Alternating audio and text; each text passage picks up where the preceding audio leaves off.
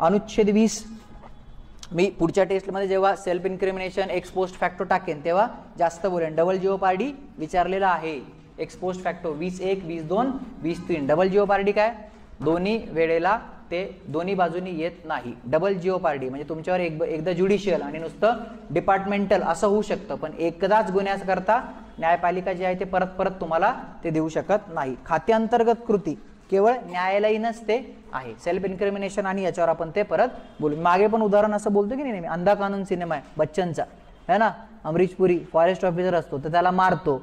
मग तो शिक्षा भोगून बाहेर येतो बच्चन. मग ते नंतर पुन्हा तिकडे जातो न्यायालयात. मग तो अमरीश पुरीला न्यायालयात म्हणतो की याला मी आता इथे मारणार. बाय तुम्ही मला याला मारल्याची शिक्षा दिलेली आहे. ना? ते एक्सपोस्ट फॅक्टो डबल न करणं ते सगळे उदाहरणं त्याच्यामध्ये येतात. डबल जिओ पार्टी म्हणजे न्यायिक तुम्हाला एकदाच आहे. पण तुमच्या त्याच्याबरोबर काय आहे?